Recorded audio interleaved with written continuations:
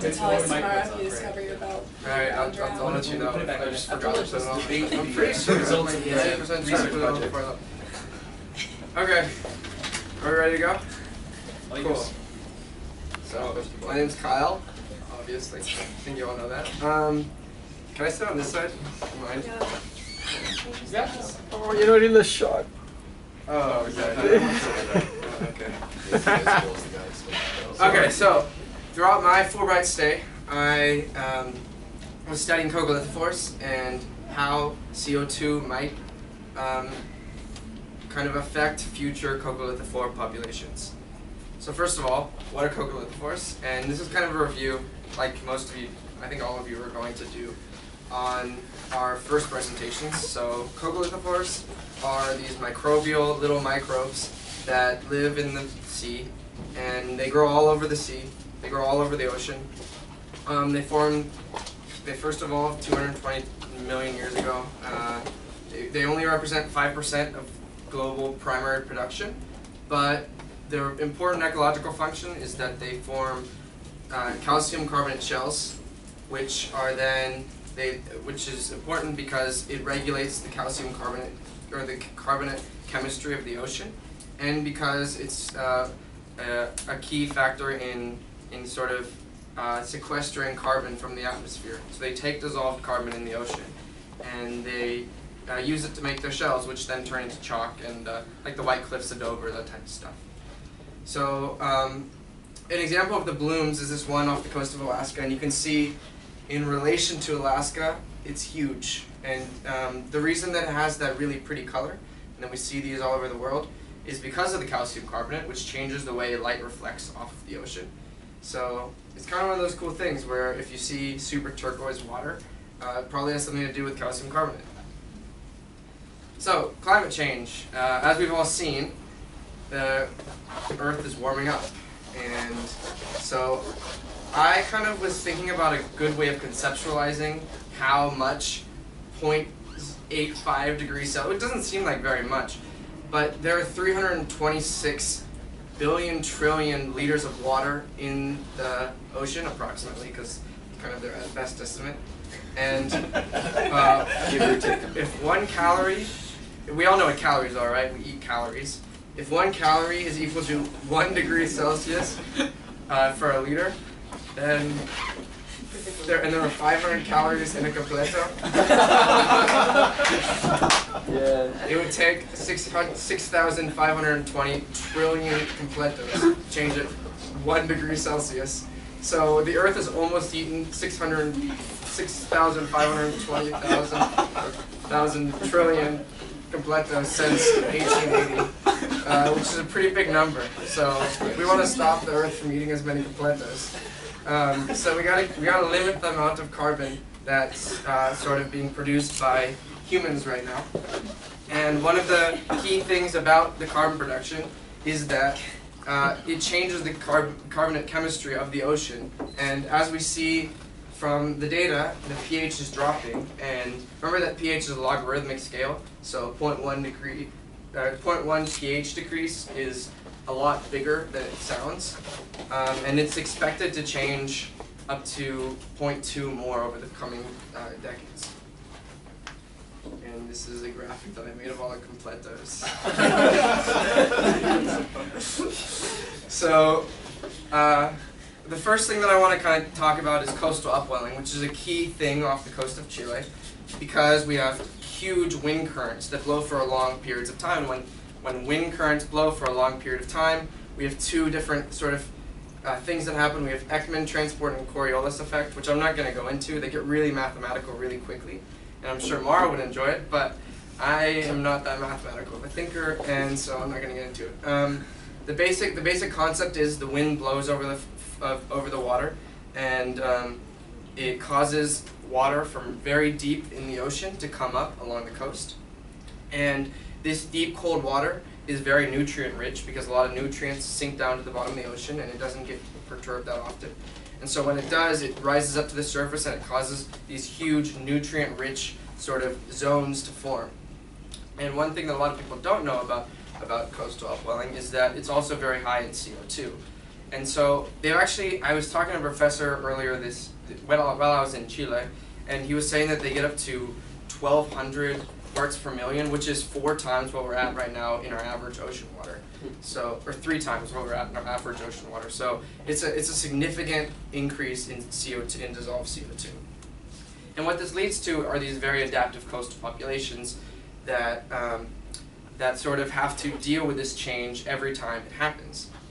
So our hypothesis was based on that idea that uh, the very adaptive coastal populations might arise from these upwelling zones was that coastal populations, uh, since they're commonly exposed to variable CO2 conditions, um, will, uh, the coastal populations and coastal coccolithophores specifically will thrive in higher CO2 experimental conditions as compared to um, coccolithophores in, in more oceanic environments.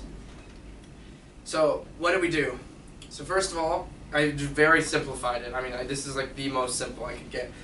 Uh, the first thing we did, I did was culture a variety of different coccolithophores. I cultured, I think, six different strains of, or six different species of coccolithophores and like 12 different strains. Uh, and we grew them in these little vials.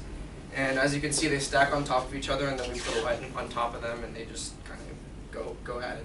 So um, uh, we then, after that, we transported them to a new location where, or I transported them to a new location where um, we grew them in four liter bottles with growth media, media, and uh, we then created uh, experimental conditions with half CO2 and half uh, just normal atmospheric air. And uh, then we kind of measured the growth rate and determined what conditions were causing higher growth or lower growth. And so first of all, I want to talk about the site. Um, Dichato was where we, we ended up uh, doing the experiment, and it's just north. If you if you see right here, I thought this was kind of funny. Uh, this was July of this year, and one of the only kind of cool zones was right here, where we are in Chile. And so uh, I, it was very cold there. It was it was frost on the ground, cold. But I, I can't complain too much because you two have had much worse, I'm sure. But you know, food food bur- or um, wood burning stoves were were they were a tough thing. So anyway, so this is the site. Um, a lot of it was what was wiped out. A lot a lot of Dichato was wiped out in the 2010 tsunami after the earthquake. And so they had to rebuild, and as you can see, this was the old center. I don't know how well you can see, but it's the old center. It's totally gutted. The wave washed over and just ripped it out. And so this is the new center. Um, that was the one where I was working in. But even so, our, our lab didn't have windows. So we didn't get any of this nice sunset. We had to go outside to see it. Um, which was, I don't know whether that was a good or a bad thing in the end because it was hard enough to control in experimental conditions. But anyway, um, so this is an example of, our, of my experiment. We have four liter bottles sitting in a, in a water bath that's used to control the temperature of the, of the, of the environment. And we have the tube system, which caused me a lot of grief. It was, I think, a two month wait in the end of, of trying to get this system to work and then telling me it was going to work and then ending up not working. So uh, that, was a, that was a struggle, but we got through it and, um, and yeah, and so in the end it all worked out. And so the next, the next thing that I did was, well, well I was doing analysis this entire time because uh, I use this thing called a uh, counting chamber or a hematocytometer, this you use by putting a, small aliquot of a sample in the little chamber, and then you stick it under a microscope and you just count cells. So you sit under a microscope and you strain your eyes and you count cells, and it was just like hours of counting cells, which you know was was fun. Um, but this is what, what this is what they look like. This is actually the best photograph, one of the better photographs I've ever seen under a, a normal light mic microscope. Uh, you can actually see if you look closely that there are you can see the coccoliths uh, in in the photo, which is kind of cool. They're little round things that, that kind of get shedded as the as as the uh, coccolithophores grow. So other other ways that we analyzed was we used scanning electron microscopy. Uh, so as you can see, these are two different types uh, of of coccolithophores. Um, the one that you always see in photos, which is really pretty, is Emiliania huxleyi, but these two are kind of different species, and you can see they have little bridges, which is also kind of a cool feature, but um, not probably not quite as pretty as Emiliania. Um, and the, so we use this to evaluate the calcification of the strains, and we also use it to evaluate to make sure that the strains were uh, sort of uni unicellular. So here's an example. As you can see, these look very similar in terms of their shape and their form of their coccoliths, but these are much bigger because the scale is exactly the same, but the Ericsonii are, are very, very small. And so you can imagine counting these was much easier than counting those. So it was, uh, it was fun. It was a good time. Uh, so other ways that we used to analyze my samples were uh, we used flow cytometry, which is uh, advanced flow cytometry was uh, sort of it's where you pass a stream of water containing your sample through a laser, and then you have a sensor on the other side that picks up whenever anything passes through that stream. And uh, one cool thing about this was that you can use dyes to excite certain wavelengths, which then you can detect and decide which wavelengths you can detect. It's really complicated really quickly, so I'm not going to get into too much detail. But this is an example of kind of what you get. This is a really uh, bacteria-dense, this was stained with a SYBR Green, and it's a very bacterial-dense kind of uh, sample. And so this is the sort of data that I was looking at for the last weekend, which is why I had to get my presentation a little bit later, because we just finished up this analysis last week. So, um, and then while I was at the site, I did even more analysis. We had so many different tests. I don't even want to get into some of them because I didn't actually have to do them because I had great lab mates. But um, these are um, fluorometers, which measure the fluorescence of a solution, which basically allows you to see how much living matter or living cell or living cells that have um, or photosynthetic cells there are in a, in a solution. So we have a handheld one and a much more powerful uh, FIRe system. And this was an interesting thing because uh, it's hard to get to know all these new systems, and I didn't I didn't have I didn't come in with any experience in any of this stuff. So trying to figure it out has been uh, a journey, part of the journey, I would say. So here are my results. As you can see, they were very inconclusive. Um, they the, the results were all over the place, and it was really, really frustrating because we spent so much time and money on this. But, you know, that's how science goes. And sometimes you gotta look at the bright side, which, you know, if you look hard enough, you can always find that little pearl in the, in the, in the rough, you know. I don't know if that's the right expression, but anyway. Um, so as you can see, these these cell levels are going up and down a lot, which isn't really what you want to see. What you want to see is exp exponential growth. And I don't even think you could fit a trend line to most of these exponentially, in terms of exponential growth, just because they're so variable that the, the, it would just be a catastrophe trying to do it. So um, also, random cultures grew really well and others didn't, and we didn't really know what was going on, and we still haven't really figured it out.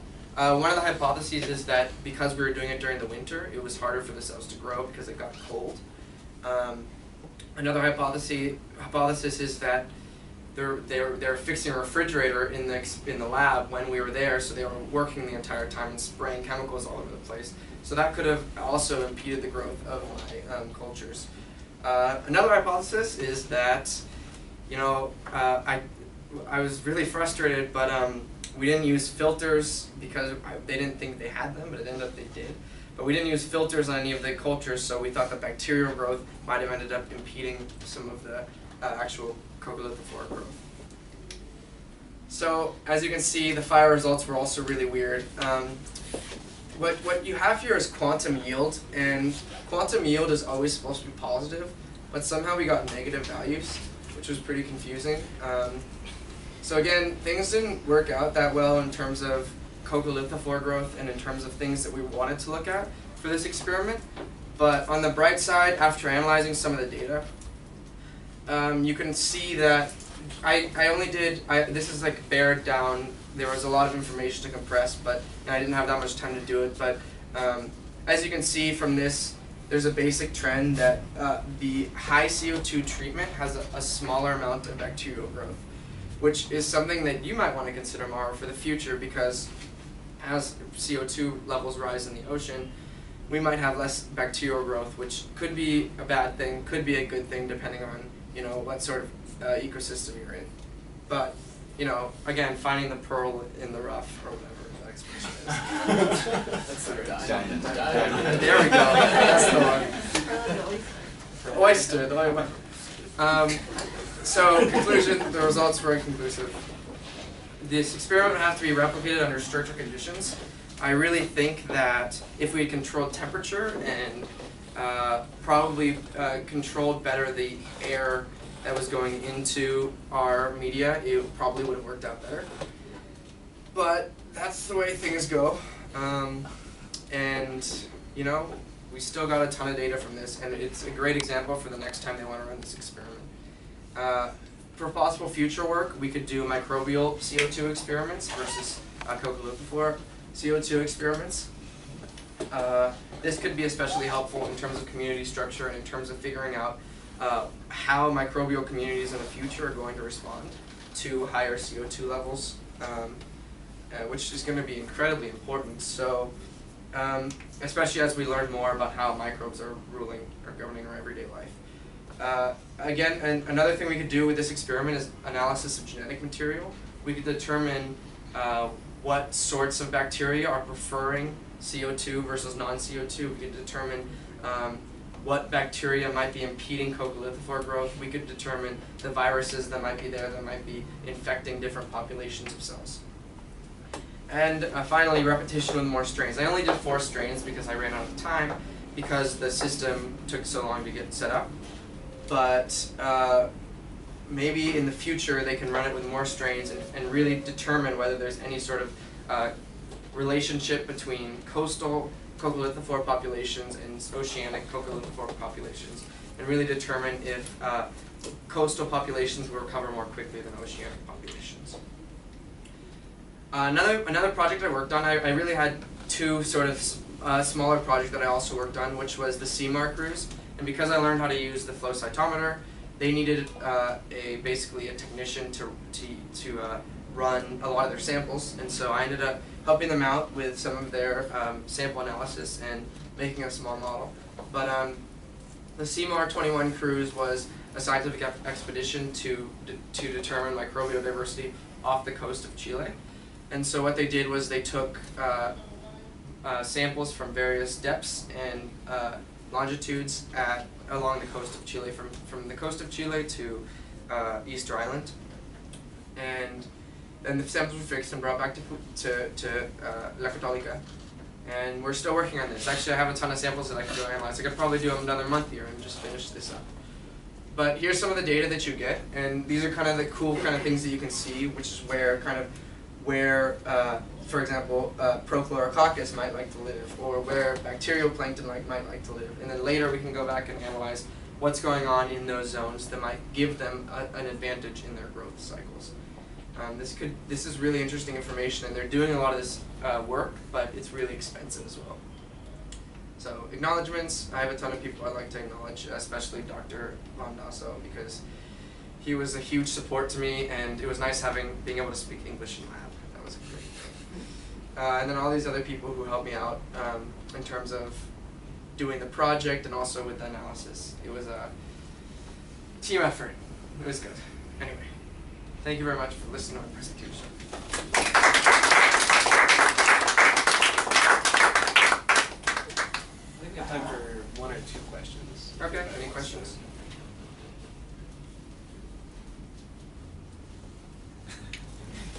Maybe we should think about the species interactions things, but do you think that the bacterial growth in different conditions had anything to do with the coccolithophores? Because Um, these were bacteria within the cultures of right? So what I've seen is that bacterial. So what we're what we're running in lab were unicellular cultures, which aren't axenic, which means that they have bacteria in them.